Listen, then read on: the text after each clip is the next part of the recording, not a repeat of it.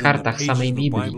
Czwarty rozdział pierwszego listu do Tesaloniczan to kluczowy fragment mówiący o pochwyceniu. W pierwszym Tesaloniczan 4 znajdujemy najsłynniejszy chyba tekst mówiący o pochwyceniu. Każdy zgodzi się, że ten fragment mówi o pochwyceniu. To jest najjaśniejsze w całej Biblii nauczanie o Jezusie przychodzącym na obłokach i o naszym pochwyceniu po to, by Go spotkać. W wersecie 13 czytamy A nie chcemy, bracia, abyście byli w niepewności co do tych, którzy zasnęli, abyście się nie smucili, jak drudzy, którzy nie mają nadziei. Albowiem jak wierzymy, że Jezus umarł i zmartwychwstał, tak też wierzymy, że Bóg przez Jezusa przywiedzie z Nim tych, którzy zasnęli. Paweł nie chce zatem, abyśmy byli w niewiedzy, w ignorancji co do wierzących, którzy umarli. Co do tych, którzy zasnęli w Jezusie, odeszli i są już z Panem. Nie chcemy, abyście byli w żałobie, jak ci, którzy nie mają nadziei. Chcę, żebyście wiedzieli, że znów ujrzycie swoich umiłowanych. Tych, którzy byli zbawieni, ujrzycie znów. Ponieważ Biblia mówi, że gdy Jezus Chrystus powróci, to weźmie ich ze sobą. Ci, którzy umarli w Chrystusie, powstaną z martwych jako pierwsi. Dlatego mówi w wersecie 18, pocieszajcie się nawzajem tymi słowy. To dlatego ten fragment jest popularny na pogrzebach. Byłem na wielu pogrzebach, gdzie ludzie pocieszali się tymi słowami. Zwróćcie uwagę na to, że każdy kolejny werset podkreśla prawdę, że znów ujrzymy ludzi, którzy odeszli.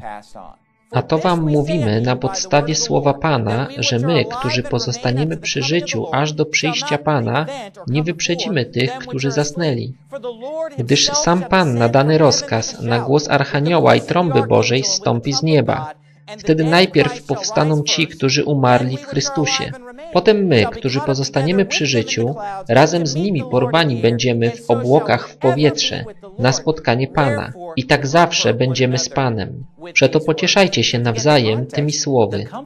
Z kontekstu wynika, że pocieszenie polegać będzie na tym, że znów zobaczymy naszych ukochanych. Tak jak wierzymy, że Jezus umarł i zmartwychwstał, tak też wierzymy, że Bóg przez Jezusa przyprowadzi ich wraz z Nim. Zostaną z martwych wzbudzeni, najpierw nastąpi zmartwychwstanie. Paweł mówi, pocieszajcie się nawzajem tymi słowy. Nie ma tutaj pociechy w stylu unikniecie prześladowań, nie będziecie prześladowani, umkniecie przed uciskiem. Nie będziecie utrapieni, nie będziecie cierpieć. Czy ten fragment wspomina coś o ucisku? Nie. Ucisk nie jest w nim nawet wspomniany. On nie mówi, pocieszajcie się nawzajem tym, że nie będziecie przechodzić przez ucisk. Pocieszajcie się, że nie będziecie prześladowani. Pocieszajcie się doktryną o porwaniu przed uciskiem. Ten fragment nie mówi o niczym takim. Gdy patrzymy na ten fragment, to widzimy w nim kilka charakterystycznych elementów związanych z pochwyceniem, które pomagają nam zidentyfikować pochwycenie w innych fragmentach. Pomagają nam zrozumieć, z czego składa się pochwycenie. Jeśli patrzymy na werset 16, to po pierwsze, sam Pan zstąpi z nieba. Pierwszym elementem pochwycenia jest to, że Pan zstępuje. On zstępuje z nieba na głos Archanioła i trąby Bożej. Głos trąby to drugi charakterystyczny element związany z pochwyceniem. Mamy tutaj więc zstępującego Pana oraz trąbę Bożą. Po trzecie, Pismo mówi, że najpierw powstaną z martwych ci, którzy umarli w Chrystusie, a potem my, którzy pozostaliśmy przy życiu aż do przyjścia Pana, zostaniemy pochwyceni na obłokach. Zatem, gdy nastąpi pochwycenie, to zgodnie z czwartym rozdziałem pierwszego listu do Po pierwsze, Pan zstąpi, po drugie, rozlegnie się głos trąby i po trzecie, zostaniemy pochwyceni razem na obłokach, aby Go spotkać. Wróćmy do Mateusza 24 i zobaczmy dokładnie te same elementy w Mateusza 24, 29 do 31. Werset 29. A zaraz po ucisku owych dni, a zaraz po udręce czy ucisku owych dni, słońce się zaćmi i księżyc nie zajaśnieje swoim blaskiem. I gwiazdy spadać będą z nieba, i moce niebieskie będą poruszone. I wtedy ukaże się na niebie znak Syna Człowieczego. I wtedy biadać będą wszystkie plemiona ziemi i ujrzą Syna Człowieczego. Tym terminem Jezus określał siebie samego, kiedy chodził po ziemi. I ujrzą Syna Człowieczego przychodzącego na obłokach nieba z wielką mocą i chwałą. I pośle aniołów swoich z wielką trąbą i zgromadzą wybranych Jego z czterech stron świata, z jednego krańca nieba aż po drugi. Dokładnie te same elementy.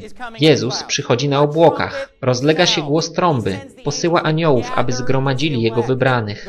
Pokazuję wam to dlatego, abyście zrozumieli, że Mateusza 24, 29 do 31 mówi o pochwyceniu. Widzimy to, zestawiając ten fragment z pierwszym Tesaloniczan 4, 15 do 17. One doskonale do siebie pasują. Zaznaczcie to palcem i przejdźmy do 13 rozdziału Marka. Marek 13 mówi w zasadzie to samo, co Mateusza 24. To są fragmenty paralelne. Zawierają tę samą naukę. Pozwólcie, że pokażę wam to w tych fragmentach. Werset 24. Ale w owe dni, które nastaną po tej udręce, zaćmi się słońce i księżyc nie zajaśnieje swoim blaskiem. I gwiazdy spadać będą z nieba i moce niebieskie będą poruszone.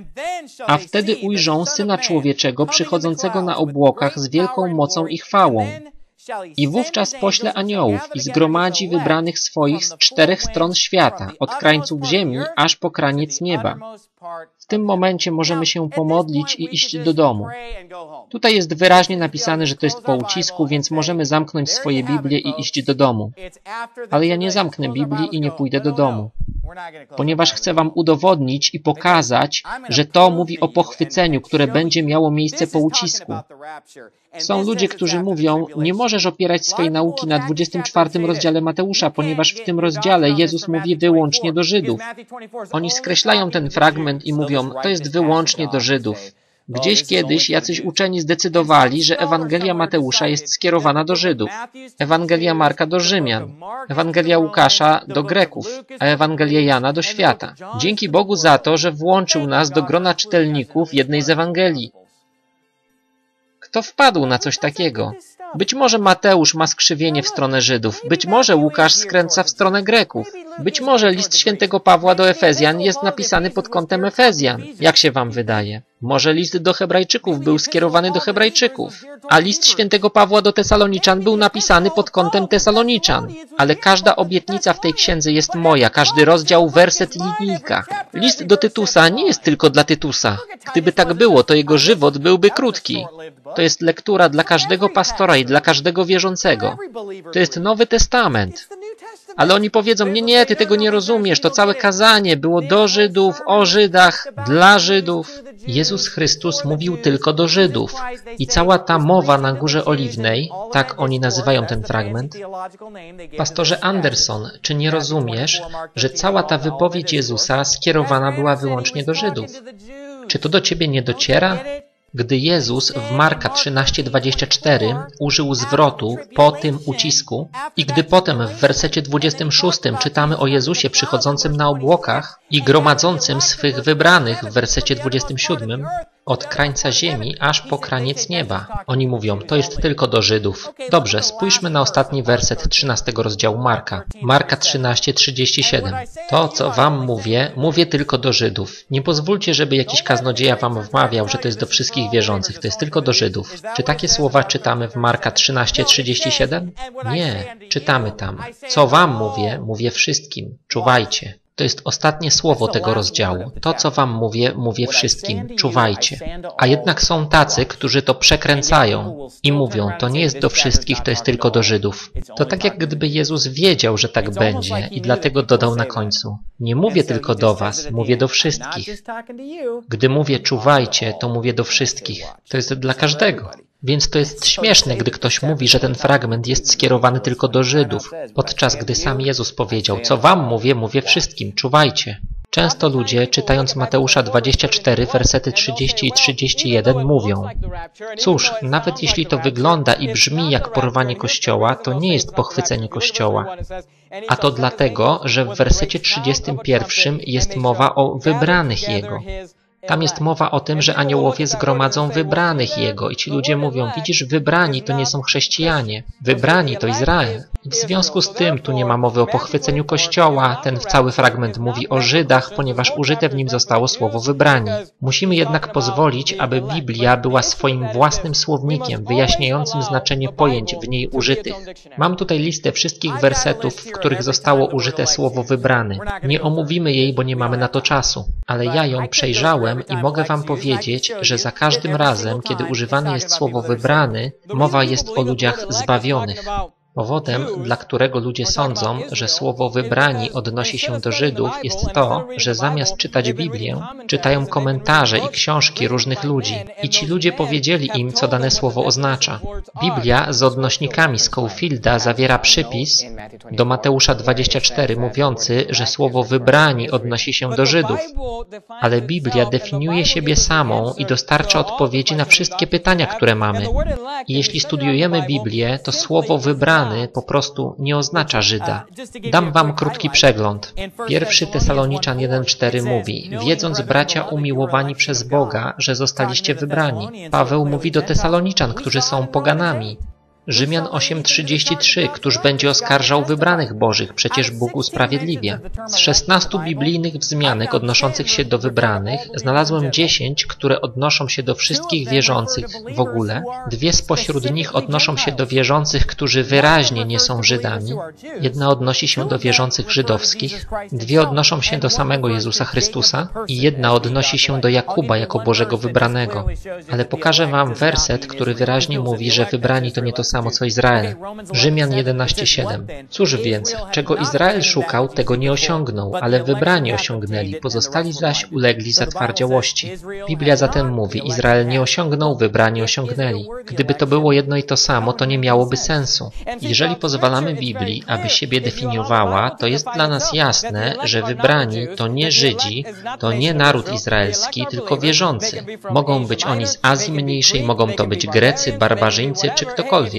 Jeżeli przyoblekłeś Chrystusa, nowego człowieka, to jesteś wybranym. Wracając do Mateusza 24, czytamy tam I pośle aniołów swoich z wielką trąbą i zgromadzą wybranych Jego z czterech stron świata, z jednego krańca nieba aż po drugi. Ten fragment opisuje pochwycenie Kościoła, czyli porwanie wierzących. To nie ma nic wspólnego z tym, czy jesteś Żydem, czy Gojem, czy jesteś czarny, czy biały. On zgromadzi ich na obłokach. Czyż nie współgra to doskonale z czwartym rozdziałem pierwszego listu do Tesaloniczan, który mówi o trąbie i o porwaniu wierzących, aby byli z Chrystusem. Dalej w tym rozdziale czytamy, że tego dnia ani godziny nie zna żaden człowiek. Tego nikt nie wie. Nie mogę wam powiedzieć, że to się wydarzy w październiku tego czy tego roku. Dalej jest napisane, dwóch będzie na polu, jeden będzie zabrany, drugi pozostawiony. Dwie mleć będą w żarnach, jedna będzie wzięta, druga pozostawiona. Czuwajcie więc, bo nie wiecie, którego dnia Pan wasz przyjdzie. Bóg nie mówi nam zatem, kiedy to nastąpi, ale mówi nam, że to będzie po ucisku, ponieważ mówi, że po ucisku słońce i księżyc się zaćmią i wtedy ukaże się Chrystus. Wtedy wierzący zostaną pochwyceni. Z tego, że nie znamy dnia ani godziny, nie wynika, że to się może zdarzyć w każdej chwili. Dlaczego ludzie czytają, nie znamy dnia ani godziny, a potem mówią, o, to może nastąpić w każdej chwili, skoro jest wyraźnie powiedziane, że to będzie po ucisku? To jest u Mateusza, Marka i Łukasza. Mateusz umawia to w 24 rozdziale, Marek w 13, Łukasz w 17 i 21, a Jan w Księdze Objawienia. Wszyscy czterej o tym mówią. Najpierw mamy ucisk, potem zaciemnienie słońca i księżyca, a potem Jezus przychodzi na obłokach i następuje pochwycenie. Powodem, dla którego ludzie sądzą, że pochwycenie następuje przed uciskiem, jest to, że mylą ucisk z Bożym gniewem.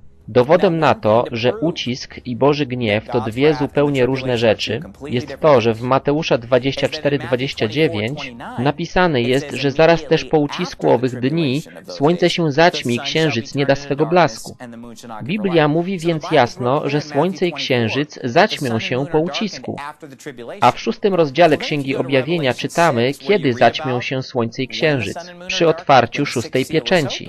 Czytamy tam, że po otwarciu szóstej pieczęci słońce pociemniało jak wór, a księżyc stał się czerwony jak krew. Dokładnie to, co w Mateusza 24. I gwiazdy spadły z nieba na ziemię, podobnie jak figowiec wstrząsany silnym wiatrem zrzuca na ziemię niedojrzałe owoce. Niebo zostało usunięte jak księga, którą się zwija, a wszelka góra i wyspa z miejsc swoich poruszone. A królowie ziemscy, wielmoże i wodzowie, bogacze i możni, każdy niewolnik oraz wolny ukryli się w jaskiniach i górskich skałach. I mówią do gór i do skał, spadnijcie na nas i zakryjcie nas przed obliczem zasiadającego na tronie i przed gniewem baranka, bo nadszedł wielki dzień jego gniewu, a któż zdoła się ostać? Według tego fragmentu, kiedy Boży gniew zaczyna być wylewany? Gdy słońce i księżyc pociemnieją. W tym momencie nadchodzi wielki dzień Jego gniewu. Czas teraźniejszy nadszedł, co znaczy, że nadszedł właśnie w tej chwili. Jeżeli więc Mateusza 24 mówi, że słońce i księżyc pociemnieją po ucisku, a Boży gniew nie zaczyna się, zanim słońce i księżyc nie pociemnieją, to jak jedno i drugie może być tym samym? Gniew nie zaczyna się, zanim słońce i księżyc nie pociemnieją.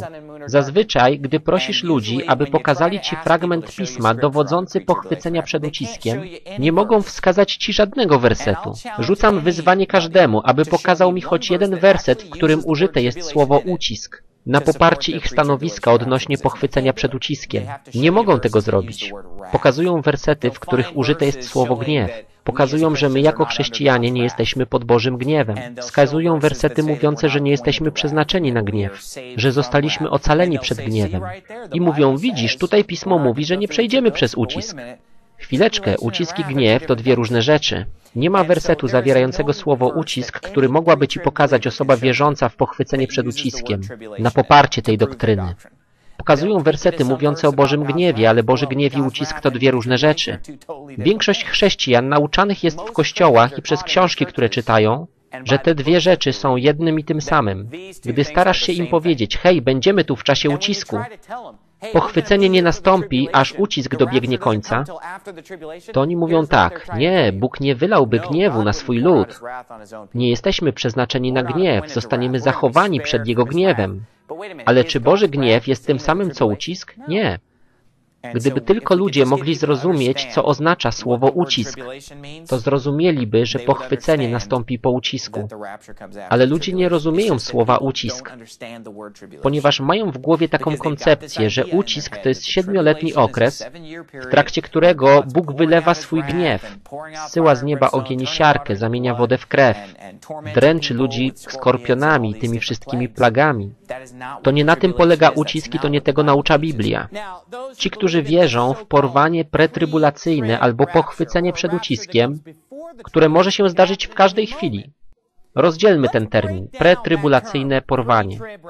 Są w nim trzy elementy. Pre znaczy przed, wcześniej. Trybulacyjne oznacza to ucisk, a potem macie porwanie czy też pochwycenie Kościoła. Słowa pochwycenie nie ma w Biblii. Jest tam koncepcja, ale nie ma nazwy. Jezus przybywa na obłokach, a ludzie zostają pochwyceni na obłokach na Jego spotkanie. Taki obraz czy koncepcja znajduje się w Biblii, ale nie ma takiego słowa. A czy słowo ucisk jest w Biblii? Przypatrzmy się wszystkim wersetom, w których znajduje się słowo ucisk. W Nowym Testamencie jest ono użyte 22 razy. Jeżeli w Nowym Testamencie słowo ucisk jest użyte 22 razy, a wszyscy mówią o tym pochwyceniu przed uciskiem, to czy któryś z tych 22 wersetów nie powinien nam mówić o tym, że przed uciskiem nastąpi pochwycenie? W żadnym z tych przypadków nie czytamy, że przed uciskiem nastąpi pochwycenie, czy coś w tym rodzaju. Każdy z tych ludzi głoszących pochwycenie przed uciskiem musi opierać się na interpretacjach, które okazują się bardzo skomplikowane, kiedy oni starają się to Tobie wytłumaczyć. Wiecie, nauczyłem się czegoś o Biblii. Bóg chce, żebyśmy ją zrozumieli. On się z nami nie bawi w jakieś sztuczki. Nie utrudnia rzeczy, nie wprowadza nas w zamęt. Chce, żebyśmy poznali prawdę. Kocha nas. Zauważyłem, że często, gdy w Biblii coś pojawia się po raz pierwszy, Bóg to dla nas definiuje. On chce, żebyśmy to zrozumieli, byśmy wiedzieli o co chodzi, gdy drugi raz będzie o tym mowa. W Mateusza 13:21 czytamy: ale nie ma w sobie korzenia, do czasu wierzy. Bowiem gdy pojawia się ucisk lub prześladowanie z powodu słowa, wnet się gorszy. Ucisk zdefiniowany jest tutaj jako prześladowanie. Ucisk bądź prześladowanie, które powstaje z powodu słowa. Czy ci ludzie przechodzą przez ucisk, ponieważ są tacy źli? Nie, oni przechodzą przez ucisk, ponieważ opierają się na Bożym Słowie.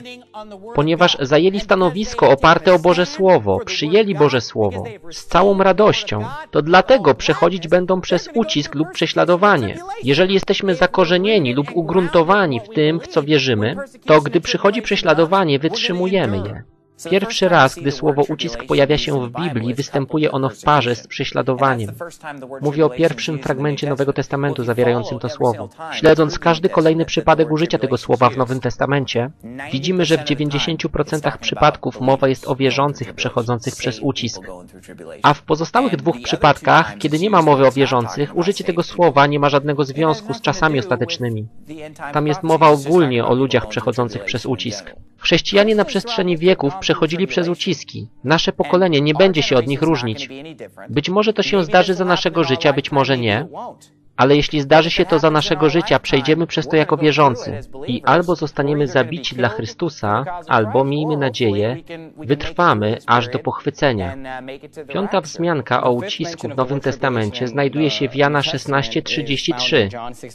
To wam powiedziałem, on mówi do swoich uczniów, do wierzących. To powiedziałem wam, abyście we mnie pokój mieli. Na świecie ucisk mieć będziecie, ale nie lękajcie się, jam zwyciężył świat. Czy on powiedział, że unikniemy ucisku? Czy powiedział, że nie będziemy przechodzić przez ucisk? Czy powiedział, nie pozwolę mojemu ludowi przechodzić przez ucisk, bo za bardzo ich kocham? Jak brzmi pierwsza wzmianka ucisku w Mateusza 13? Ona mówi, że jeśli ludzie nie są zakorzenieni, ugruntowani, a powstaje ucisk lub prześladowanie z powodu słowa, to ulegają oni czemu? Zgorszeniu. Spójrzmy na pierwszy werset tego rozdziału, w którym znajdujemy ostrzeżenie przed uciskiem. To wam powiedziałem, abyście się nie zgorszyli. On mówi, gdybym wam o tym nie powiedział, gdybym nie ostrzegł was przed nadchodzącym prześladowaniem, uciskiem i próbami, to w czasie, gdy one na was przyjdą, bylibyście zaskoczeni i zgorszeni.